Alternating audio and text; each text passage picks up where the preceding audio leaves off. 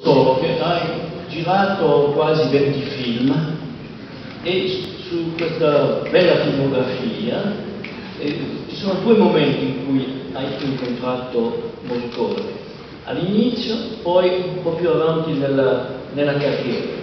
All'inizio hai eh, lavorato con Morricone su tre film, eh, la famosa trilogia degli animali, e eh, ovviamente la prima domanda che mi viene eh, e che mi sembra un po' ovvia, eh, cioè di capire come mai hai cominciato a lavorare nel cinema, hai fatto la prima regia, la seconda, la terza, lavorando sempre con questo musicista che era già famoso, come sei arrivato a lui e come avete lavorato insieme? Ma io l'ho conosciuto perché ho scritto con Bernardo Bertolucci il soggetto del film C'era una volta nel West.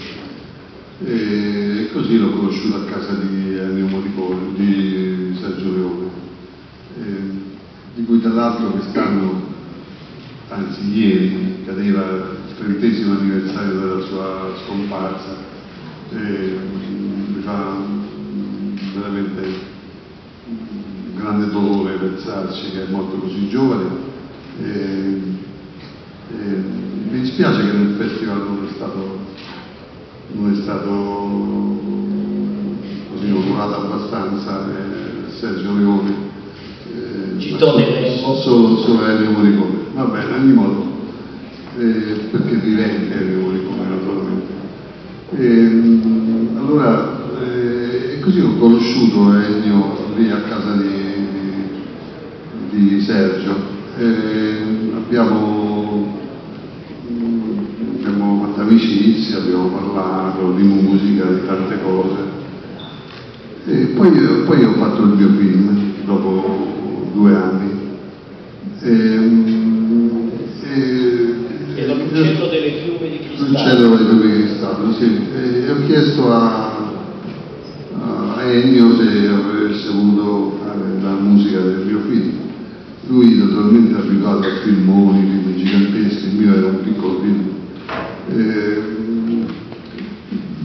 all'inizio non, non, ero sicuro che avrebbe accettato, allora mio padre è intervenuto, eh, che era amico di Sergio, cioè di Ennio. Eh, che era il produttore del film. Sì, il produttore del film. E, a, e così, e alla fine Ennio ha accettato e ha fatto una musica cioè, veramente eccezionale per quel film, perché uh, per la prima volta nella sua carriera ha fatto una musica improvvisata, perché nel film, a parte che ci sono alcune melodie e altre cose piccole, per il resto tutto il film è tutto musica improvvisata, loro si riunivano in questa sala dei concerti e un gruppo, il gruppo di Ennio, Nuova Sinfonia. E Ennio suonava la tromba perché lui è laureato in tromba e in composizione e si sente la sua tromba nel, nel, nel mio film moltissimo. E quindi si mettevano là e si, noi passavamo le scene del film, una scena e improvvisavano quello che gli veniva in mente. Se Ennio non era soddisfatto, la rifacevano.